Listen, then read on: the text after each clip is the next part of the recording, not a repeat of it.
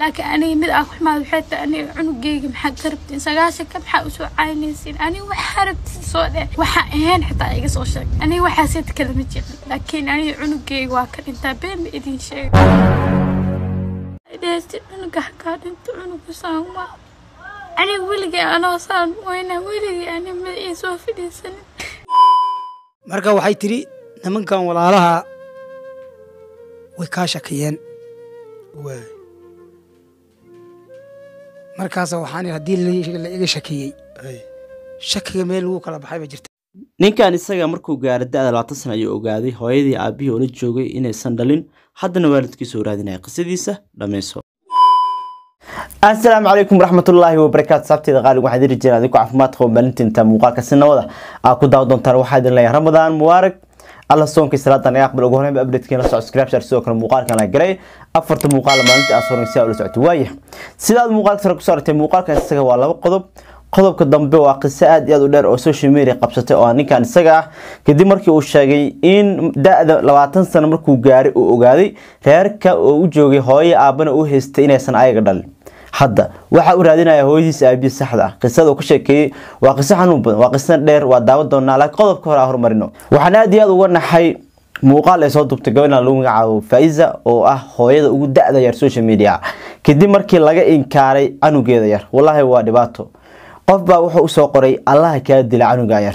Markaas ayay ilinta ceshabaysa horta soomaaliyay ee, maanta waxaa maraynaa in lais inkaaro mataqaanaa waalidkii la dhaho carruurta allaha kaa qaado gabadhan horta iyo weliba cabaas waxaa dhihi karaa waa lamaanaha ugu afka gaaban social media. Weligee maarag dadka dadka la haysto waxaa loo soo qoray commenti ah. Waxaa la dhahay ilmahaas ha kaa dhintaan. Bismillah. Hadda qofka saa u inkaarayo muxuu ka faa-iidayaa canugan yar ee dhaleen? Hadduu dhinto. Canugaa saqiirka muxuu kaa galabsan. Ya waa ka aamusi waay walaa muuqaalka islamka liisoo dira aan saan u fiiriyey waa naxay wax waa ka bedelaynaa marka in xaaskii qalbigeeda ay ilaalisaan because ka soo qaad imagine adigii daawanaya oo hooyo ah amba aabba ah haddii la dhaho cunugaaga allaha kaa qaad maxaa dareemi lahayd xumaan iyo xanuuna dareemi lahayd waa tana ayadoo ilmeynaysa bal intaa qisada kale u guda gelin. Muuqaalkeeda la daawad bal gabadhan soomaaliyeed iyo sida loola dhaqmay sharmuuto waa idhaha haddaa rabtay guri jirinkadeed dekanta haddaa rabtay idhaha guri wasaqeed dekanta nin faqiir a qabo xitaa dhaha waxaa rabtiin isoo dhaha aniga weligay kama xumaan waxaa iisoo qortin laakiin aniga mid aa ku xumaad waxay tahay aniga cunugeyga maxaad ka rabtiin sagaashanka maxaa u soo caynaysiin? Aniga waxaa rabtiin soo dheh. Waxaa ahayn xitaa iga soo sheeg. Aniga waxaaseta kalama jeclin laakiin aniga cunugeyga waa ka dhintaa been ma idin sheegaa. Sabab cunugeyga muxuu idinka galansaday saqiir waaye wax ma garto aniga waxaa doontin isoo dhaha alxamdulilah waa ku qanacsanay nolosha saas ee anaa shala doortay. Adinka ma ii doorin ma fahmino hadda ii foolxuntahay hadda ii qurux badan tahayna anaa kala jecel. Adinka wax idinka gala ma jirto. Laakiin waa dhibsaday iga dhaafay cunugeeya ii dhaaf waa idin baryaa hadduu xun yahay hadduusan yahay ani hooyadiis ah ii dhaaf cunugeyga. Ha iga caynina waa dhibsaday madaxa dhana i xanuuno cunugeyga sagaashanka aayada ka dhaafa waa idin baryaa waxaa doonteen anaga noo soo qor anaga nacaaya anagana aflagaadeeya video kasta aa soo dhig waxaa idhahaysta cunuga hakaa dhinto cunuga saan waa aniga weligay anoo saan wayna weligay ani ma ii soo fadhiisanin wiilkayga intaa dhalin ka hor waxaa la dhihi jiray tama dhalaysa miya hadduu ilaahay isiiye alxamdulilah oo dhalan waxay dhehaysan cunuga ka ma dhasha weligaa qof bini aadan ha ku caanin waa adduunka qofka qalbigiisa. Markaa ilaalin karto waxaa waaya inaa waxaasad aadan dhihin qofka maadaama waxaas aa dhahda qalbi jab niyad jab oo dareema. Ma fahmino? Facebook bajkaa daawanaysin waa cabaas faisfahmin muuqaalka hadduu ku soo gaaro. Beel dheergaasi soo qomatiga dadka badan iisoo qoraa cunugeyga af oo caynaya cunugeyga. Mar walba wax iisoo qorayaan. Ugu gaarsiiye midaada kalena gabar rabnoo dhaayo anaga sideenoo kale famil eh. Iyo ikon waxaa u qorayseen ee tan ma dhashan tan? Horta dhalmada ilaaha haayo. Ilaahay qofka wax siini hadiyad waa ilmahaneed ma fahmino iska siinama qofka ilaahay hadiyadaas oo sii waay ya qofka maxa niyadiisa qalbigiisa ma ilaalinaysin waxaa dhihisi qofkaa ma dhashay miyaa qofkaa ma dhalaysa miyaa qofkaa need cunuga cunuga ha ka dhintano cunuga saan waaye waxa adaa u soo qoraysid xishoonaysid miyaa adiga cunugayga mar dambaa isku soo caayna wallaahi hadaa waa hadli waaye ciil dartiis wallaahi bilaa madax ilaa hadarta hadaa ilaa madax been ku sheegay ani isoo caayo daarta ani waxaa rabta isoo dhe isoo aflagaaday waxa adduunka dhan war waxaa rabta dheh oo ku qanacsanay laakiin anu Ah, cunugeyga waa ha saqiir. iga soo Cunug marin. sa- cunug sa- cunug sakhiir waa maxaa ka cayni oo haddana hal sano lugta la galooyo oo haa isagaba saqiir waa ciyaal yaa aan hadli karin. Wah, muxuu ka muxuu ka rabiyaa muxuu caanaysiimo ku dhawaa badar isimo ku dhawaa biyo isoo mu ku dhawaa maxaa ka rabtaa dadkan kaligaa ma dadka qof kasta way ahaan walaahi bilahi ma dad badan aan arkaya ma dhashaa tahay abuba fiiri dhalmada allah haayo. Maanta dhegeyso ilaahay qofkoo doonoo wax siiyaa ma fahamtilama helo. qofkoo doonoo wax siinaa waxaa waaye adan cinaa ma ku xun tahay? Ilaahay qofkaa wax oo siiya maa ku xun tahay? Walaa hadaa waxaa u ciil daraadiis sababtoo ay cunuga adi aarafaad aala soo martay oo soo silacday oo soo foolatay oo lagugu soo qalay oo adiga xitaa calooshaada ay u jeexan tahay oo lagu leeya cunuga si sahal si sahal waayaa caloosha. Cunuga hakaa cunto cunuga saan waa sagaashanka hal mar xitaa waxaa qofka iska cafin kartaa mugta laakiin mar walba muuqaal aa soo dhigaysid. Beemi sheegaa waa dhibsan? Waxaa idinka codsanaa in xaaskeyga qalbigeeda aa ilaalisaan. Wallahi bilah waa arka anaga dadkana neceb iyo dadkana jecel. Dadkana neceb waa badan. Anaga wax walba aan samaynayno danaa noo geysay iyo duruufaa noo geysay. Wax walba anaga aan soo fasta garaynayno aa isleedihiin idinka micnaha xumaan waaye. Dad dhalinyaro aana shaqaynaa nahay shaqadeena tanay noqotay waxaa waaye intaas inaa xumaado nooga qaatin ama neceb ma ahan. Nolosha yani adaada social media nagu aragtay mana taqaanid. Ma fahantay nolosha social media aan ku joogno iyo nolosha caadiga isku mid ma yihiin wallaahi uu bilahi watala waxaa aaminsanahay anaga. U qalbi nadiifnahay noolo bini aadan inuusan u qalbi nadiifsanin marka waxaa idinka codsanaa anaga meediyaha waxaan ku joognaa wejigaas. Waxaa waaye eh, haddii aad nagu nacdeen oo aad nagu dhibsateen xumaatada ay idin soo gudbineen iyo wax walba anaga nalama ahan inay xumaato tahay. Laakiin haddii adig aad wax- wax waa ka bedelaynaa marka in xaaskeyga qalbigeeda aa ilaalisaan dumar waaye ani isoo caaya isoo aflagaadeeya ma fahantaadi qaniisaa tahay abu a isoo dhaha laakiin xaaskeyga dumar waaye ma fahantay wallaahi u watalahi u isaa ku dhaha maanta. Wallahi bilah aan ba idiin sheegin. Marka waa kaasaa wax walbo waxaa waaye idinkaa samayn kartiin. Hadda qofkaa soo caayay yani wuxuu matalaa micnaha dadka anagna dadkana daawado micnaha oo matalaa adaladooda badanaa saana isoo wada qoraan marka waxaa idinka codsanaa inaad isku daydiin in oo xaaskayga qalbigeeda aa ilaalisaan. Wiilkeedana ugu soo duceysaan. Marka xaaladaasaa jirtay xumaatana nagama ahen anaga. Waxaa idinka codsanaynaa naceeb badan haddaan u qaadi jirtay ewel haddana jeclow. Wax walba anaga rag dhalinyaraan haddana noo sheega ramaho dan iyo duruufaa noo waxaas way dhaceen waa sameynay xumaato nooceerta ahaato. Laakiin hadda waa ku raaligelin. Yani haddaan iga aaminsan tahay inaan xumaato kuu geysana waayaa la jeclow hadda kadib inaa lilahi wa ilahi raajic ilaah ka qabtaa le isha dadkaasi u soo qoraya inkaartan. Xitaa waxaa maqlaya markii loo soo qoray canug yaraa ka xanuunsadaba. Because waxyaabahan oo kale waxyaabaha dadka ku xanuunsadaan waaye il waaye in canug yar la inkaaro oo la- allah ku qaado. War maanta maxaa laga faa'iidayaa canug yar oo la inkaaray oo la dhahay allah ku qaado? Maxaa laga faa'iidayaa? Yani social media marka anaga u soo galno inaa mataqaan dadka wax u soo gudbino dad baa waxay u soo galaan inay ilmaha yar ay inkaaraan qodobka sakasa uu bixina qodobka dambe marka. Ninkan waxaa lagu magacaaba yuusuf. Shalay iyo daraad social media waxaa haysato qisadiisa. Kadib markii uu ogaaday markuu da-da labaatanka sano gaaray in hooyadii aabihii oo u haystay inay isaga dhaleen intaas sanana soo korinayeen in aysan dhalin. Naxdin ay ku noqoto hadda adiga daawanayo hooyada aabaha la joogtaa sax? Hooyada aabbaha hadday ku dhahan kawar anaga kuma dhaline orad waalidkaaga raadso. Hadda dhabay ka tahay ayagana ee, ma aysan ku ciyaarin dhiig bay kala qaadeen si loo qanciyo waxoo dhan idinka ay dhasheen war waxaa le anaga kuma dhalo ku soo korine dhiiggay kala qaateen kadib waxaa la xaqiijiyey inaysan dhalin. Naxdin walwal waxoo dhe hooyo intaas sana qofkaa dhahaya oo aan u haysta inay dhashay. Ilmaheeda lastaa u haysta saas miya. Hadda wuxuu raadinaya waalidkiisa. Waalidkaas muxuu kala kulmay qisa dheer. Oo daati minute camal soconayso ayuu soo duubay ila daawada qisadiisa. Qisada markaa daawad wax badan ka faaideysaa dhameysa muuqaalkan labadan qodob waxaa ka leed commentiga inkaarta la inkaari cabaas iyo faaideysa cunugooda yarne. Bal aad duco ugu bedelno si ilaahay ugu qabto dadkaasi shartooda ila daawada qisadaani. Muuqaalkan kiisa xigaa noo balan insha allah magacaagu waa yuusuf maxamed xasan. Ah. laakiin hadhowto hole maxamed xasan meesha uu ka bixi doona Waxaa laga yaaba uu ka bixi doonaa n yuusufow eh, inaad horta sheekada intaynaan gudagelin inaad sheekadan soo tabiso oo aad sheekadaada la wadaagta bulshada maxaa kuu kalifay wallaahi waxaa igu kalifay ninka bani aadamka. Ah. Oo saacayda qur'aanka ku sheegtay wajacalnaakum shucuuban wa qabaa'ila. Aa waa inuu shucuub uu ka soo jeedo waa munaasib. Aa anigu waxaan u malaynayaa da'diin horta soddon iyo dhowr sano u jirtaan malaynaya.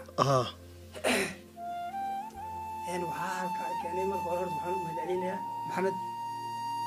Maxamed cabdi Tifigaba waay boqolkiiba boqol waxaan leeyahay waa idin mahad celinayaa waay sida qurux baan lagu soo dhaweeyey waay socodkan hadda waxaan ka soo galay horta magaalada magaalada muqdisho. Magaalada muqdisho. Danta halkaa ay keentay waxa weeyaan. Sheekadaada. Sheekadan sheekadaas oo ah waalid iyo walaal raadis waay taabtaa weeyaan. Waagag daawudaya yuusuf. Waa nin dhallinyaro ah oo soddon iyo dhowr sano jira. Wuxuu raadinayaa waalidkiisii buu raadinayaa iyo sidoo kale wuxuu raadinayaa reerkiisii buu raadinayaa. Reerka uu ka soo jeedo qabiilka uu ka soo jeedo intaba waa uu raadinaya. Haddaba sidee ku dhacday in maxamed waayo waalidkiisa? Sidoo kale maxay ku dhacday maxamed maxay ku dhacday yuusuf in uu la baxo magaca yuusuf maxamed xasan inuu la baxo? Sidoo kale maxay ku dhacday in isaga iyo waalidkiisu ay kala libdhaan maxayse ku dhacday in yuusuf uu maanta intuu halkaa fadhiisto isaga oo aabba soomaaliyeeda isaga oo nin maxayda dhalinyaro oo soddon iyo dheeraada uu bartan sheekadiisa idinka soo tabiyo? Intaba waa aynu wadaagi doonaa. Ugu horeyn yuusuf ayaan ku horreysiin doonaa bal halkii ay ka soo unkatay ka soo bilaamatay noloshiisu. Yuusufow yuusuf maxamed xasan ayaad imika tahay. Maxamed xasan dabcan marka magacaasi uu dhegaha soomaaliyeed gaadho wuxuu soo baxayaa aabbaha balde waxaan doonayaa sheekada barbilowgeeda inaad noo bilowdo. Adiga oon dhankaana uga bixin dhankaana uga bixin. Yuusuf maxamed xasan ilmaha sidiisaba ninkii ugu horeeyo oo soo koriyo. Ah. Ibuu yaqaana inuu dhalay. Yuusuf maxamed xasan waxay ku baxday annaga waxaan ka mid ahaa dadkii luuq laga helay. Saana taariikhda ku hayo odaga iga sheekeey labada kun iyo toban iyo lixdii Ah. ibaan u malaynaya in is- si uu noolaa markaa. Wuu ii sheekeeyey habeen buu ii sheekeeyey wuxuu yidhi waxaan kaa soo qaaday luuq dowladdii burburtay siyaad bara. Waxootii marka dadka la isugu keenay. Marka afar gabdhood baan dhalay. Haye adiguna qaxootiga joogtay. Maalin anoo socdo magaalada gudaheeda marayo. Kiiba waxaan arkay buu meel carruur dad la siinayo iyo qaar baabuur lagu keenayo la dejinayo. Marka dowladdii markaa halkaa joogtay bana askari kama dhaban dhahay hore ninka wiilka yar dhalinyarta buuran saddex hablaan leeyanaa korsanemaa la siiyo. Marka laba cisho kabacdi waa la isoo waa la ii yimaaday waxaa lii wiilkii adaa lagu siina lagu ogaanayaa. Waay aan horta aabbahay ninkaasa u naqaanay inuu ahaa. Inuu aabbaha ahaa. Aabbahay ahaa waay imse jir baad ahayd maalintaas. Markaa saddex jir baan ahaa si ii sheegay. Siduu kuu sheegay. Saddex sanaad jirtay waay markaa dowladda soomaaliya xeryaha qaxootiga carruurtaa la keenay sababtii loo geenayay maxay ahayd? Ma ma fahmayo ma fahmaysid. Ah. laakiin saddex jir inaad ahayd oo adigoo saddex sana jir ah bartaa lagu keenay isagaa kuu sheegay. Ciddii ku keentay buu kumu sheegay anigana ma weydinba adiguna maad weydiin. Ma weydin waay isagaa ku soo korsaday isagaa soo koriyey. Kolka dalka etoobiya markii dowladda burburtay dagaalka uu dhacay waxaan ka soo galnay maji la dhaho wala daaya. Waay tuuli yaroo magaceeda la dhahayo ilka cadees iyo walkaabaa odaga soo degay. Waay. macallin qur'aan buu ahaa.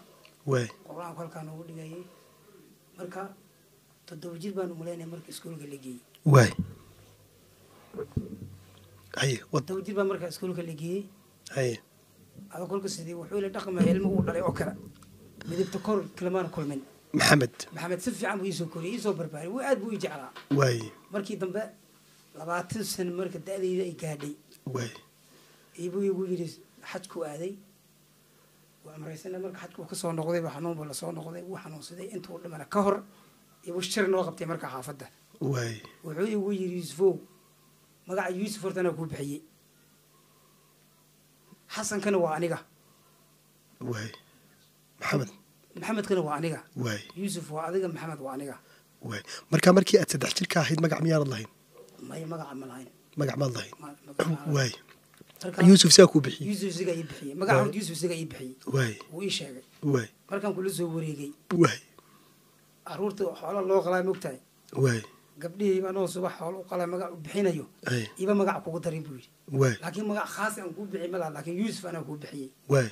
Marka adugu uu dhintay markuu dhintay intuu dhimana ka hor uu dardaarmay wuxuu yidhi adigu da-daad maanta soo labaatan sano jirtaa diin iyo dunuubina waa lagu baray.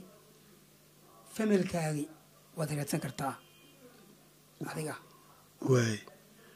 Gurigani waa gurigaagi waa iska joogi kartaa. Reerkaagana soo raadso gurigaagana waa kii ku soo kortay. Caruurtaasna waa walaalahaada ana subaxdaas waagii beriyiba inta ka horrey habeen baan ku jiray. Labaatan sano markii aad ahayd buu ku yidhi markaa raadso maxay ahayday faamiligaagii iyo qoyskaagii raadso. Een, maxamed ma kuu sheegay wax ma kuu sheegay waddo oo aad ka raadsato waalidkaagi wadaan ka raadiyay ma sheegin. Wuxuu yidhi qaxootigaasaan kaa soo qaaday qaxootigana wuxuu yidhi malaayiin carruur ah yana la keenay yana laga qaaday. Kolkaas waddo haddaan ku dhahay reerkaas ku raadi maba jirto bay wili laakiin nasiibkaaga ilaahaygaada waad qabtaa. Waad qabtaa buu ku yidhi. Marka waay waddo kale ima soo bixin. Subax yaa xaafadiyaan ka soo tegey. Dalka etoobiya waxaa ka bilaabtay marka wadooyin la sameyn jiray ba jiray oo baabuurta ay sameynay dowladii cabdi maxamed cumar. Waay ee waddooyinka aada loo dhisaya la sameynaya waay intaan ka soo bixin halkaa. Markuu kelmaddaa ku yidhi isagu gurigu joogay. Aa gurigu joogaa markaa gurigii uu joogay miyuu dhintay? May markii uu noolaa. Markaa uu noolaa. Aa markaa goormuu dhintay isagu uu geeriyooday labada kun toban iyo wuxuu dhintay lixdii. Toban iyo lixdii buu dhintay. Waay een, maalintii uu markaa uu dardaarmay ee uu sidaa kugu yidhi een, uu noolaa xayiba wuu joogay maad sii joogtay markaa gurigii may waan joogay gurigu waan joogay laakiinse waxaan ku noqday luuq xaggii luuqan aaday waay dibaan u noqday magaaladii luuqana waay lacag baa la siiyey lacagtaan la tegay luuqan ku noqday. Luuqo waxaan tegay daa. Yaa lacagta ku siiyey? Isaga.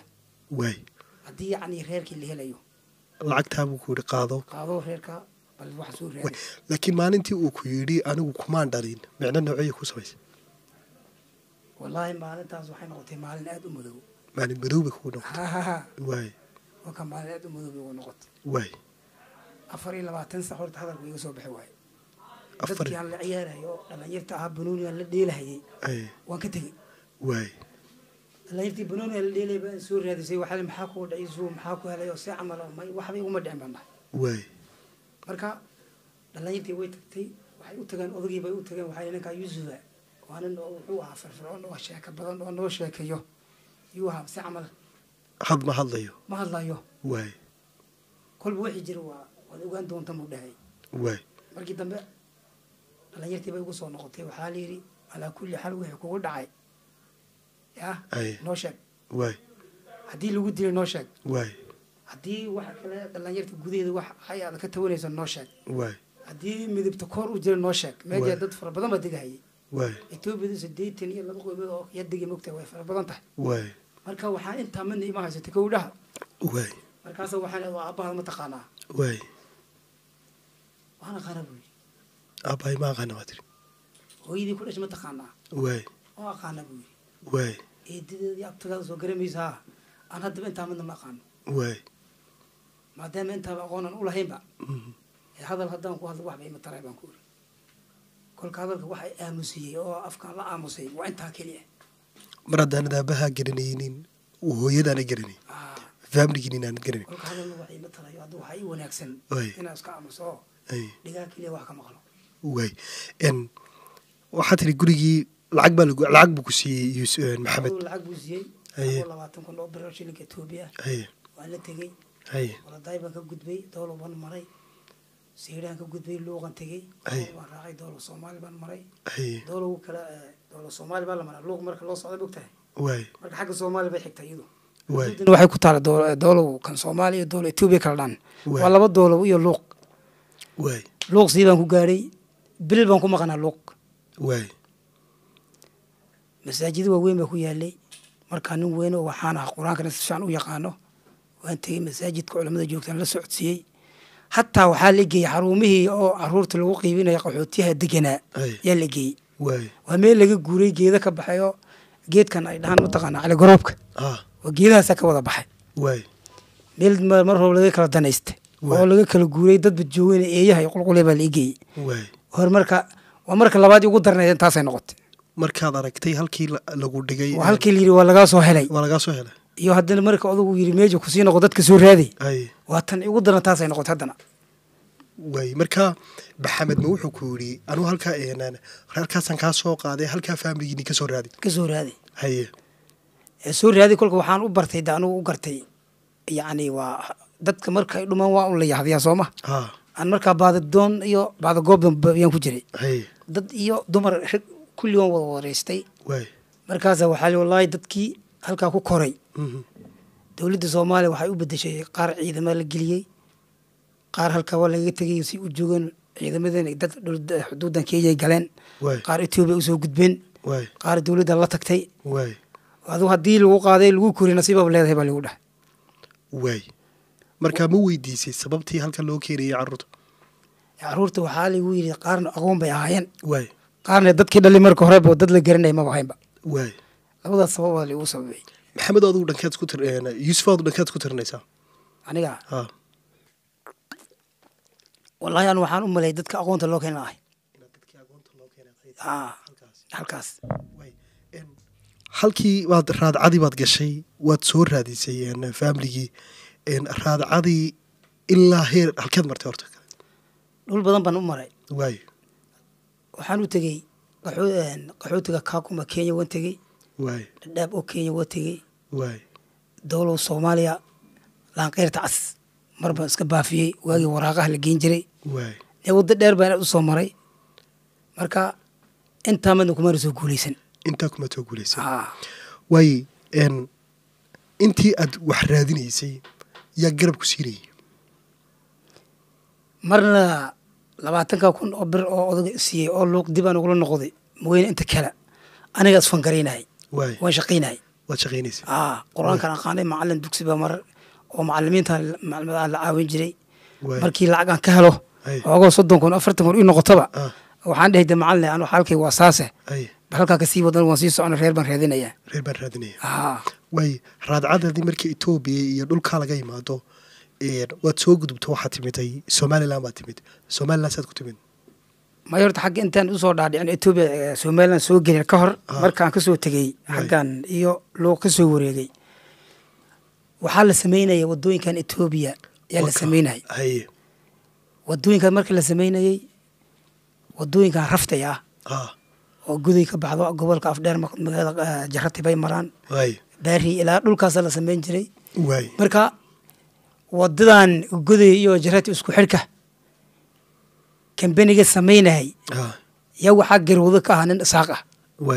Waxaa la dhahaa yuusuf xasan yuusuf cege yaa la odhan jiray. Ah, jarati uu degan yahay hadda wuu joogaa wuu nool yahay. Markaa sigaasaan u sheegay waxaan nihi saaxibo barnaamijkii waa noocaas. Waay ee ninka intaa leegna waanahay reerkiisi iyo familkiisii dadkii dhali raadsanayee ay ee haddii nin soomaali caadiya tahay ee shaqadan wax iga dar. Warqad yar buu ii qoray xafiiska tago xafiiska bal la soo hadal bay gu dhahay. Warqadda markii aan u dhiibeyba xafiiskan geeyey. Ay saad markuu u eegayba wuu ii saxiixun isi waxba ima weydin shaqo wacan bay gu dhahay. Isigan ku soo noqday waxaan saxiixi buu igu soo dhiftay Eh. shaqo waan buu isoo dhaxay maxaa kale ku dhahay waxba? Iyo hadda waxaad ka mid tahay dadkan wadadan ka shaqaynayo. Baabuurtaas carada soo qaadayso la soco. Ee shaqayso halkaas horta lacag fiican ayaa ka helay. Lacagta aan ku aaday ilaa kenya ilaa kakuma ilaa dhoobli aan ku soo wareegay. Halkaasaan ka helay. Waay lacagtii markaa halkaad ka heshay waxaad ku gashay safarkii inaad waalidkaagii raadiso. Lac- lacagtii waan helay. Horta kambaniga aad buu u fara badnaa. Ilaa muddo dhowr iyo toban bilood buu shaqaynayay. Aniga marka uu marayo magaalada jarati marka intii laga tago waxaa la soo maraa. Magaalo la dhahayo hargeyle god cusba marka god cusba uu gaadhay iyo kambaniga dhexda xakadiyo ka galay wuu istaagay. Markaa lacag waxaan helay anigu shilinka etoobiya u dhiganto markaa boqol kun oo bir oo shilinka etoobiya u dhig- u dhiganto hadda markaa lacagtii markaan helay jaradii baan ku noqday safarkii baan diyaarsaday de waay safarkii halkaan ka bilaabay doolo waan ka gudbay ada mandheera waan galay. Kenya markaan tagay magaalada mandheera igu horeysay barnaamijkan u socdayba halka ayaan ka bilaabay. Waay culimadii masaajida joogtaan la xiriiray si fiican ba wax la ila qabtay waa la waday kabana la ii gooyey. Waay waxaa markaa dadku waa la qabanayo dhulka lama ogoleynba waay kabaanidii baan qaatay waxaan la tegey de kaakuma qaxootiga kaakuma toosiya u tegey marka dadka hataa waa la dhoofinayay. Waay dhoofitaanbaba ii soo baxayba dhoofitaankii waxaan maba doonaya dhoofitaan uma socdo anigu magacii baan qortay. Meel bakti nasiibo dadka lagu qorahay yaa ii soo baxdo subaxi dambe waxaa la diyaaradda waxay fadhidaa arsaba dadkii etoobiya ka imaaday doolow maga dadkaasaa marka hore biyaan ka duwan gashanaa. Warqado madmadooba lanoo dhiibay waxaa loo socdaa maraykanka la eedaya ninkii ugu horreeyey maraykanka diidi baan ahaa anugu markaa waa la yeeriyey haddana nasiibkayga wuxuu noqday ninkii ugu horreeyo oo halkaa laga yeeriyey haddana. Markaasa lagu yiri anigu maraykan iyo sheekada uma socono waxaan u soco dadkii dhalay dadkii dhalay maday haysaan war dad ku dhalay waxba ha raadina maraykanka iska tag. Ay. Ware maraykanka daanta hooye aab milihi. Ay. Gabar sahre ay dhahaanba booskayga ya gashay. Waa laga soo celiyey kaakuma waan ka soo noqday. Waxaan imaaday meel naakuuray dhahaan baan imaaday. Waan ka soo noqday. Dhadheeb baan imaaday. Dhadheeb haddana laanqeyrta cas qolo u shaqaynaysa oo weriyaal ah yaan kula kulmay. Oo qiibtan afka sabaaxiliga ah waay sabaaxiliga ma aqaano kolka waxaan bal kuwan iga turjuma. Waay warqad ayay qoreen. Waxay dhaheen warqadan la tag doolow gee. Doolow markaan imaaday kolka waxaan u imaaday niman oo dadka baafinayo. Dadka markaa waa la baafin jiray muuqaal noocan oo kale ma jirin mogta waa lee baafiyey. Toddoba cisho kabacda lagu baafiyo haddana. Xilligaa horii lagama baafinayo. Waraaqo kale iga horreeyey waxaa leeyahy boqol iyo konton warqad oo kaa horeysa boqol iyo konton iyo kowad baa tahay toddoba cisho kabacda lagu baafinaya intaa iska joog meel hudheela iska degey baafintii baan sugay sawir iyo warka markaa wax sawira maba jirinba markii toddoba cisho kabacdaan joogay yaa ligu yiri wax wax kuu soo baxay ma laha waa marka saddexaad haddana yaabo tii luuq bay igu dartay baafintii waaba tagtay haddana maxsee wax yihiin waay waan soo noqday markaa markii dambe aan soo noqday magaalada jarati aan imaaday iyo kolka waxaan arkay nin la dhahayo faysal maxamed ismaaciil. Faysal bacyo loo yaqaano bahorta aan dhimiilaasha ka shaqaynayo. Yaalkii aan isku helnay. Oo ciise muuse ah. Waa ninka ugu fiican oo ruux bani aadan lala kulamo. Ninkaas waa hort. Gabar nuuro la dhaho iyadana reer somaliland ayuu qabay. Barnaamijkii markaan u- sheegay baabuur yar bay igu qaaday guriga geeyey dhar waxaan hayso dhan way iga bedelay magaaladaas igu daray. Wuxuu yiri magaalada iska soo wareeg. Habeenkiina gurigan iska soo seexo. Haddii habeenkaa reerka cashe lagu karinin waay hudheelka ku soo cashay haddii uu ku dhaho faysal baa isoo diray ku dheh saddex biloodba markaa guriga ayaan joogay. Marka safar wuxuu galay arsa u aaday siga baasaboor etoobiya doontay laba bilood buu ku soo qaadatay bishii saddexaad buu noo imaaday. Waay ee warka si warkay waa halkii. Reerka mada joognaa reerka ka waran reerka wuu fiican yahay. Caafimaadkada wax buu laiga wareystay markii dambe. Wuxuu yiri waxaan ku geynayaa somaliland. Waay halkaa Ethiopia- joogtaana waa halkee marka waxaan ku sugnaa jarati. Weli jaratii maana soo dhaafin mogta wuxuu yiri somaliland baan ku geynayaa gaariga cadmiidlaha waay oo faaruq aan wato. Raacaynaa waay waayahay waan soo raacnay. Habeenkii waxaan ku soo dheelmanay goday. Habeenkii labaad waxaan ku soo dheelmanay haddana magaalada jigjiga. Jigjiga markaan joogno buu igu yiri tiifiga kan miyaan tegaynaa? Ma kan somaliland tegaynaa? Ximad una gee. Igu soo noqday wuxuu yidhi waxaan tegaynaa. Safarka halkaan ku soconay hargeysa ahayd. Hargeysaan aadaynaa waay. Wajaalaan soo galnay habeenkii hotel nasiimil ay dhahaan wajaal xuduudda ku yaalaan barinay waay subaxdii dambe oo khamiis ay tahay yaan ka soo baxnay. Magaalada hargeysa habeenkii jamciyan ku soo dheelmay habeenkaa gurigiisan yan u dheelmaday yan seexanay. Subaxdii wuxuu yidhi reerka wuxuu u badan yahay berbera waay berberaan ku geynaya haddana. Ware hadda hargeysan ba socone berbere maxaad ii geynaysaa markaasa wuxuu yidhi niyow dadka wax badan baa lagu gartaaye calaamadooyin baan kaa dareemaya hargeysa. Waxaan aadaynaa berberaan aadaynaa marka markaan berberaan tegey gurigii waxaa liigu dejiyey cabdimusmaar guriga cabdimusmaar markii liigu dejiyey gurigaas si fiican baa liigu soo dhaweeyey nin la dhaho maxamed cabdirasaaq daawud cigaal. Iyo nin la dhaho xule iyo nin la dhahayo kala diin. Horta nimankaas halkaa waan ka salaamaya niman aad u wanaagsan bay ahaayeen. Laba cisho markaan bariyay habeenkii saddexaad subaxii waxaa la ii soo diray ciidan somaliland ka mid aho saldhiga weyn magaalada berbera laga soo diray. Yaa gurigay ugu imaaday. Warkayba iga gaari baan u malay. Waa la imaaday. Waxaa la yidhi markaa gurigay soo galeen anoo meel jiifo la isoo toosiyey. Meel ma ima soo toosinin. Markaan soo toosay ka bacdi casarkii. Casarkii. Yaa saddex askari. Nin wuxuu waxaan malaynayaa. Nin- wuxuu ahaa nin dembi baara buu ahaa. Saan u malaynayo. Saddex askari ba ahayn labana nina boolis caadi iska ahaa nin dharcad buu iska ahaa. Marka way su'aaleen. Jawaabtii baan saydi anugu fakirkii aan hadafkan ku sii socday. Ibaan ugu sheekay halkaa iyaku keenay bay dheheen ninkaas ay keenay. Waay isigiiba telefonka telefonkiisa marka way garaaceen way wada hadleen. Markii dambe ciidankii way u soo noqdeen waxay dhaheen gurigaada iska joog. Wax kuu soo dhowaanayo wax ku taabanayo midna ma laha. Waay reerkaaga raadso faysal subaxii buu soo noqday magaalada hargeyso iga soo noqday. Marka waxaa liigu wareejiyey gurigii cabdimusmaar iyo magaalada berbera iyo dadkii ku noolaa. Ninkaa wuxuu yii ninkaa waa nin reerkiisa raadsanayo hal laga warhayo nin salaaman kala diin dhahan oo dowladda hoos u shaqeeyo nin cabdi faarax ay dhahaan oo haddaba markiiska magaalada hargeysa aan ku soo arkay daraad. Niman doqee liigu wareejiyey nimankaasaa ayaa xilkay la wareegay iyo ninkii guriga markaa mas'uulka oo la xole. Ada niman aada u wanaagsanoo aada u fiican bay ahaayeen. Soomaaliduna waxay dhahdaaba reer qabiil meel hadduu meel uu degan yahay nin hadduu aad ka barato ninkaa kugu xumaado Ah. waxaad moodaysaaba reerka oo dhan isaa uu yahay. Hadduu laakiin kii marka ugu reer baratay nin wanaagsan uu noqdo ah. waxaad dareemaysaa reerkaas oo dhan inuu reer wanaagsan uu yahay. Marka guriga saddex bilood baan joogay. Markii dambe guri waa laga wareejiyey waxaa lai dejiyey guri cabdi faarax uu leeyahay. Cabdi faarax markaa waayo?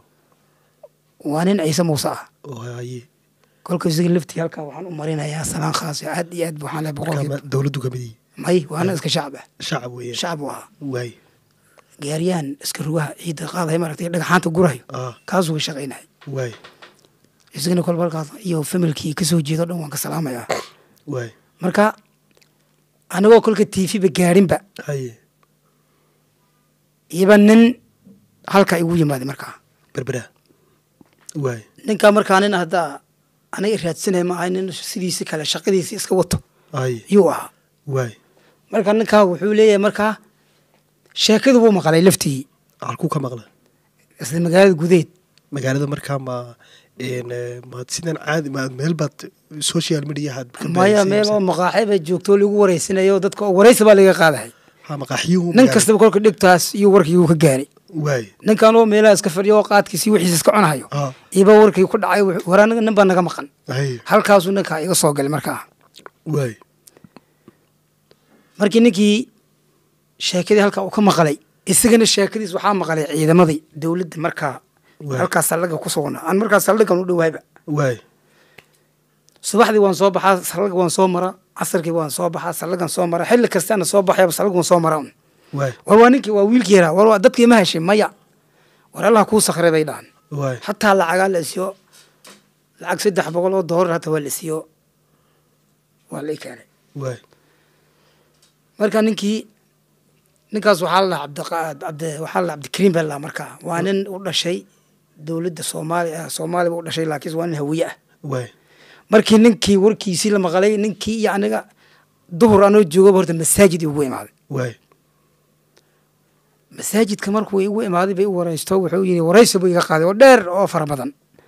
Anigo nin baa naga maqan waa noocaas laakiin midabkeeda waad madowdahay anagan waan madowdana waan isku agnay baan uma- inaan shaki oo inaan wada dhalnay baan umalaynayaa malaba kolka yaa igu soo galay markaas waxaan ini aniga ana male uma socday xaqiiqan raadina haddaa walaalaan nahayna waa saas walaalkeeda ahayna dee garabkadaa laha galo wixii dhanba afkaa badinaya markaa ninkii sheekadii dowladda maqashay dowladdana waxaa gaarsiiyey nimankii markaa aan isku agdhoweyna u sheegay. Anaa waxaan war nin noocaas ay imaaday sheekadana wuu ka sheekaynaa ka waran war ciidan baa mada jooga mas'uul waxaaba kaa dowladda mas'uulka ahayd ninkii ku soo gelaya kii kaa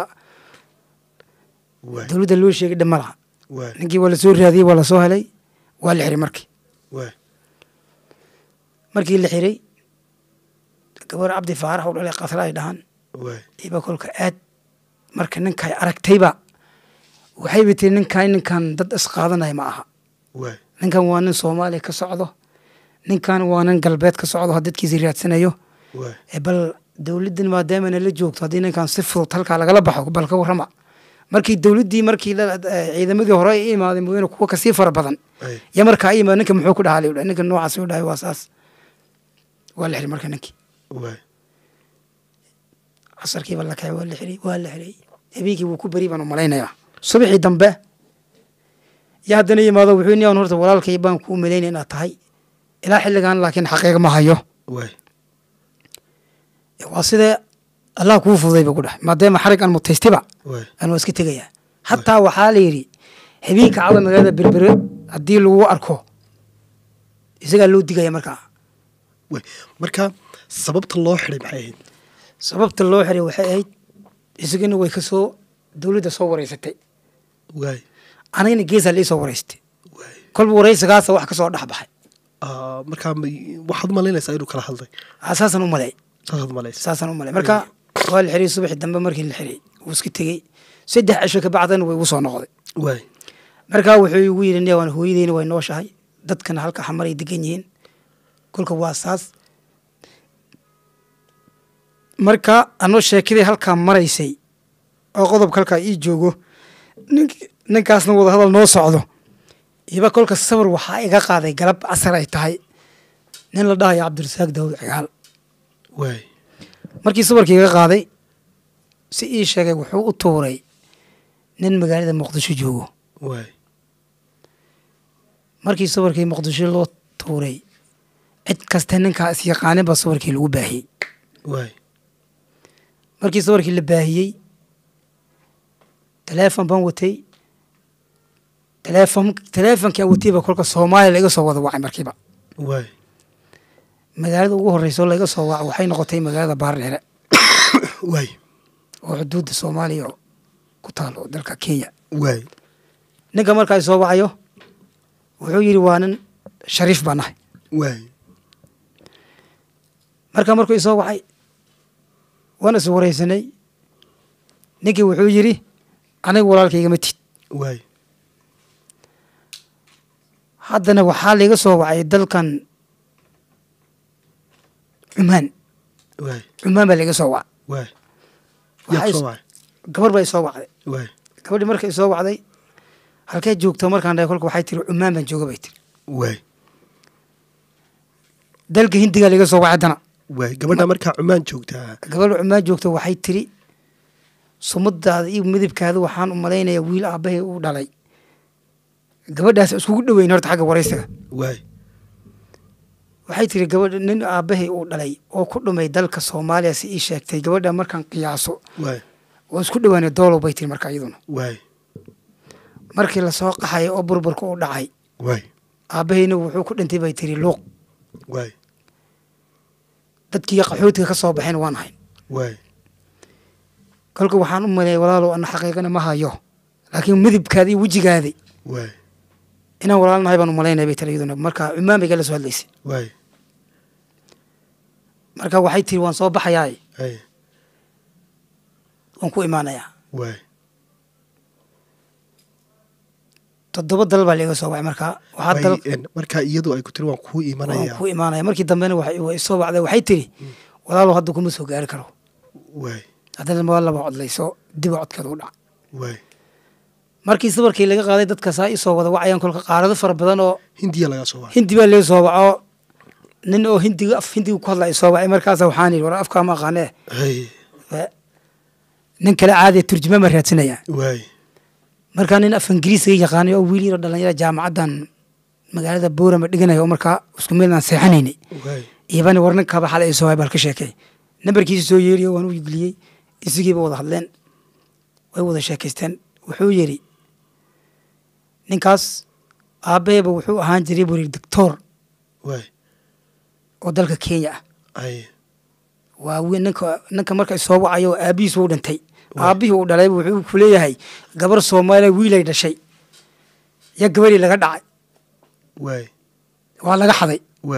Haddaba ilaa xilliga meelagii war looma hayo. Marka marka laga xadayna waxay tiri wejiga nabarka wejigu iga dhacay dhulku ku dhacay. Isoo hindhima nabarka dhiigahayo hay iyo ugu dambaysay. Waay isagu marka wuxuu ugu tilmaamaya nabarkaa keliya. Dhabarkaad halkaa ku leedahay. Nabarka halkan ku leeyahay. Nabarkana goorbu kugu dhacay. Nabarkiima goor igu dhacay. Anoo isoo igu yeela baan arkay marka ada sheekadii kolka meel fara badan bay soo martay. Nasiibka kolka wuxuu qorahayay ilaahay wuxuu qorahayay inaan soomaaliya intii aan tago oo halkan ubad aan ku soo dhalo. Waay yuusufow sheekadaadu halkaasay ka soo bilaabatay een, raadcadaasoo soo martay. Intaad horta etoobiya aan dib kugu celiyo etoobiya waxbarashada ilaa heer tilay baad ka gaadhay dugsi dhexa kama- kamaan dhaafin waay waxbarashada diinigana qur'aanku waa dhameeyey qur'aanka waa dhamaysa Ah. marka waxaa kuu dhigay maxamed. Ah, xaaji maxamed baa kuu dhigay. Mhm. waay eh, asxaabtaadii etoobiya iyo een, nashaadaadkaagiiba etoobiyaad ku soo qaadatay etoobiya si fiican. Etoobiyaad ku soo qaadatay Ah. waay dhalinyarnimo heer intee leg baad etoobiya ka gaadhay. Inta da-daydiiba tahayba etoobiyaad ku soo qaadatay aad labada kun toddobiyo tobankii wixii ka soo wixii ka dambeeyey. Nin etoobiyana baan ahaa oo dalka gogo gobolka afdheer joogahay afdheer joogay Een, eh, ma ku biirtay markaa dhalinyaradii magaalada ee maxay ahayday dee amba ciyaaraha had noqoto amba qeybaha kala duwan ha noqoto? May ciyaaraha waan ku diiro labada kun iyo lixdii. Waxaan ka mid ahaa xidigihii u saftay labada eh, labada kun iyo lixdii jigjiga koobkii la dhigay. Raggii u saftay baan ka mid ahaa nambarka nambar naynkan dhiilahayba kubadda aad baan u aqaanaa. Marka ciyaartoy kubadda aad u aqaanata Ah, jijiga waxaad u ciyaaraysay gobolka afdheer u dhiilay marka gobolka afdheer baad u ciyaaraysay Ah.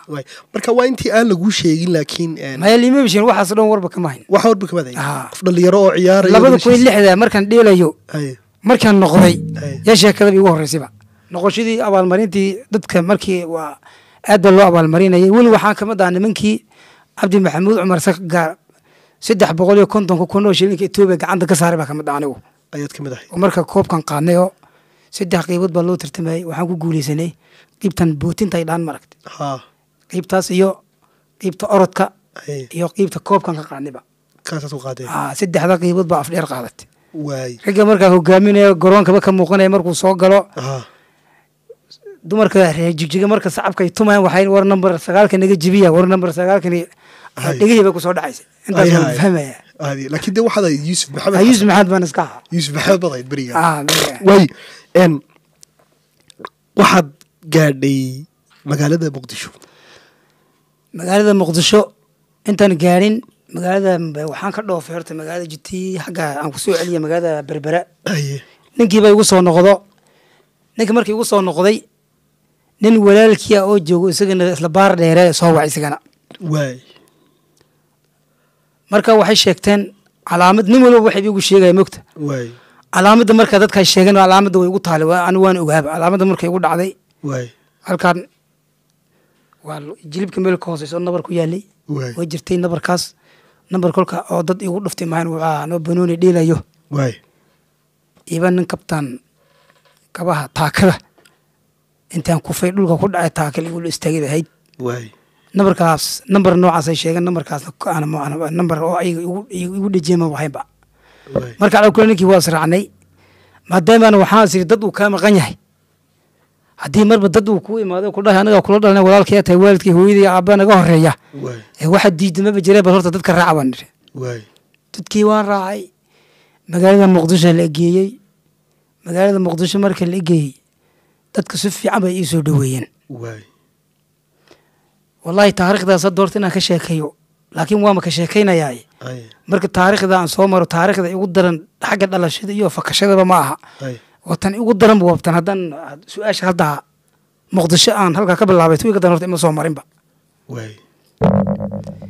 Markaan tegey magaalada muqdisho khamiistiiyaan ka degey habeenkii sabtida waxaa lii gelbiyey magaalada afgooye. Afgooye. Afgooye la geeyey.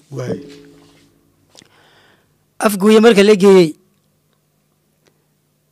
subaxii sabtida marka la geeyey casarkii sabtida dhigtii waxaa ku soo dhacaysay. Ware ninkan waa nin beles ahoo tamar dheer dheer.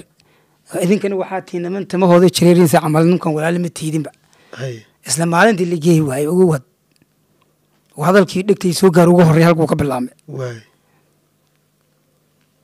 Waan yaabay waxaani walbaaba reerkii shalay lahaa. Walaalanahay haddana dadkii waxayba ka dhammaaneen tamahaada iyo reerkii kale tamihiisa si camalo qol geesaan lay dejiyey. Qolkaasaan iska seexanay markaa lacag laba kun oo doolar baan watay anigu markaa aan watay marka dhowr beri markaan iska joogayba aniga fikir kale igu soo baxayba. Waxaa igu soo baxday. War soo intaa ma gaadhin hooyi iyo aabbi iyo walaal iyo waalidaan raadina intaad leedahay haddaad dhimato. Kaaga sii daranba horta waxa guurso. Hawi kale iyo damac iyo hawi kale sii gashaba inaad guursato. Inaan guursadoba markaa gabar markaa jaamacad dhiganaysay oo reerka markaa halkaa iga sii qaaday familkooda ah yaan heshiinay. Gabadhii baan sheekaysano waxaan warran sheekada walaala inaan isku guursano warrano. Marka waxay tiri "Eh, reerkan igu kaa yeeli maayaan. Waa ninkaa hadda la keenay. Haddaa reerka iga soo doontona laguma yeelayo. Eh, reerkii hadda ku ku keensaday. Ay. Reerkan ha kuu guuriyo. Reerkan hadda waama imaadayba nin ragga ilahay afka af soomaaliya baan ka hadlaynaa bal haddaan isguursano ka waran halkaasaan ka bilaabay markaa ada gabadhii laba bilood ka